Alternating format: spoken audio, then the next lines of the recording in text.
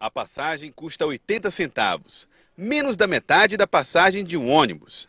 Mas a viagem barata está repleta de problemas. Um desses problemas é a falta de conforto nos trens. Com o balanço dos vagões, dá para se acostumar. Mas o calor está difícil de ser suportado pelos passageiros. Os equipamentos de ar-condicionado estão quebrados. O defeito afeta a segurança. A viagem é feita de portas abertas ao longo do percurso para melhorar a ventilação. Além disso, algumas das portas apresentam problemas. Os jovens se arriscam pendurados nas saídas.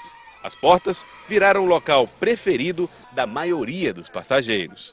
A paz é muito quente, né? Começou com ar-condicionado e não foi avante. Mas os perigos não param por aí. Os cruzamentos com a linha férrea oferecem riscos. O momento mais perigoso da viagem é o cruzamento com as vias públicas, as passagens de nível. Em pontos assim, a linha do trem cruza com a via pública e o risco de acidente é sempre muito grande. Não há cancelas de segurança. A cada passagem, o maquinista faz o alerta sonoro. Tem motorista que, pelo fato de estar vindo com vidros fechados, até mesmo até de celular, totalmente despercebido a buzina do trem. Há dois anos, o metrô descarrilhou pela última vez. Hoje, um trem que transportava combustíveis descarrilhou no pátio de manobras.